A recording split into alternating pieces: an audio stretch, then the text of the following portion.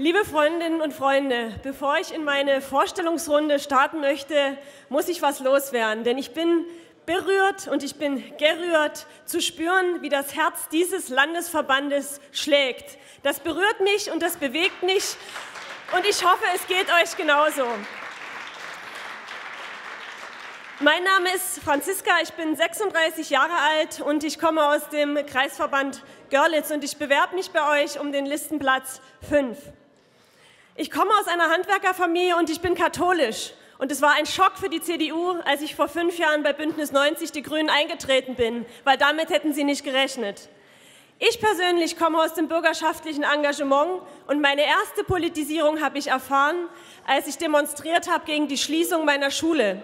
Die CDU hat als CDU-geführte Staatsregierung ab dem Jahr 2000 700 Schulen geschlossen.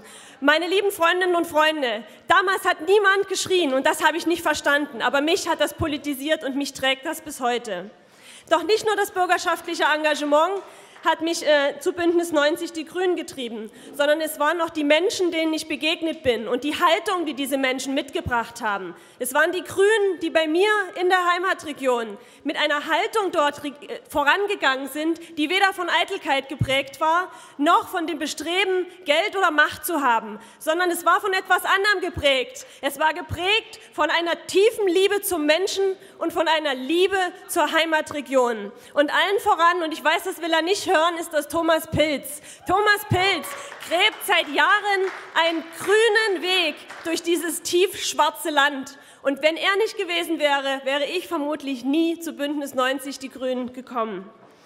Was ist mein Programm? Mein Programm ist immer noch dasselbe, was mich dazu gebracht hat, auch bei Bündnis 90 Die Grünen mitzumachen. Es ist die Bewahrung der Schöpfung an erster Stelle, immerhin Verfassungsziel im Freistaat Sachsen. Es ist die Gleichstellung von allen Geschlechtern, der Glaube daran, dass Macht zu teilen ist und dass erst im Miteinander, im ergänzenden Miteinander das Beste für uns alle erreicht wird. Und es ist das Ringen um eine freiheitliche Bürgerschaft, eine freiheitliche Bürgerschaft, die im Frieden miteinander lebt und die in Solidarität gut miteinander Gesellschaft gestaltet. Ich werde getragen vom Glauben, dass es Werte gibt und dass es wichtig ist, Anstand hochzuhalten. Und ich glaube nach wie vor daran, dass jeder Einzelne und jede Einzelne einen Beitrag dazu leisten kann und das auch tut, diese Welt jeden Tag ein Stückchen besser zu machen.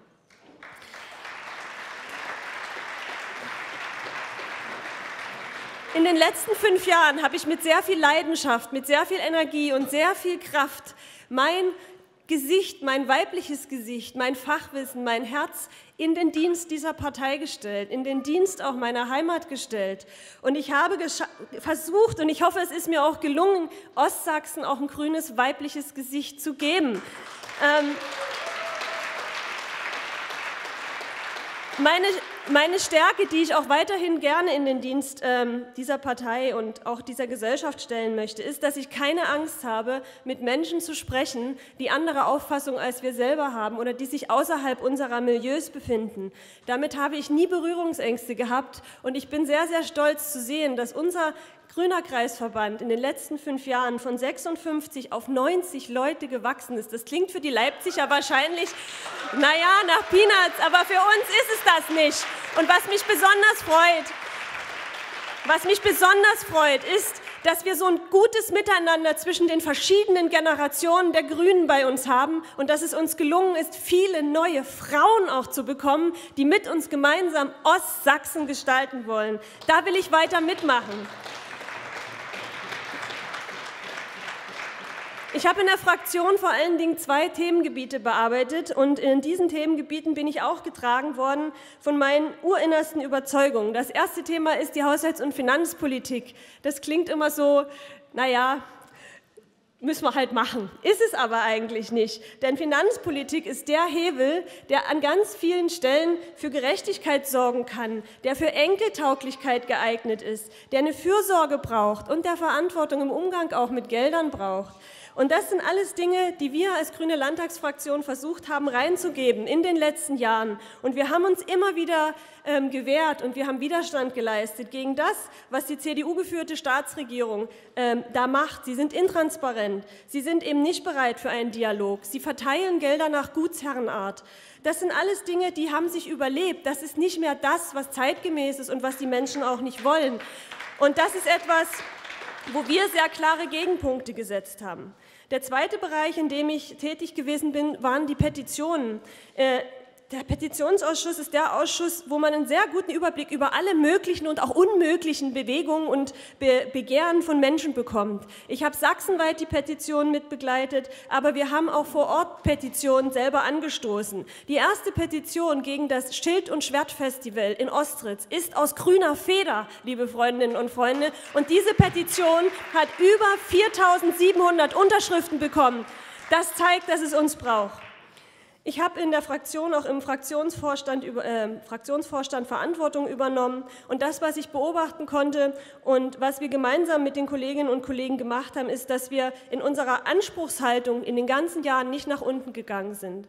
Wir haben ein wahnsinnig gutes Team in der Fraktion gehabt. Die Mitarbeiterinnen und Mitarbeiter haben dieselbe Anspruchshaltung gehabt. Und die haben dafür gesorgt, dass wir mit viel Fleiß, mit viel Sachkenntnis, mit viel Fachkenntnis und mit enormer Leidenschaft sehr deutlich gemacht haben, dass wir ein richtig guter Gegner für die CDU sind. Denn es ist schon bezeichnend, es ist bezeichnend, dass die CDU in Sachsen nicht die AfD als ihren Hauptgegner be be begreift, sondern sie greifen die Grünen an. Und, sie, und Ministerpräsident Kretschmer geht durchs Land und sagt, die Grünen sind die Blockierer. Leute, das haben wir uns hart erarbeitet.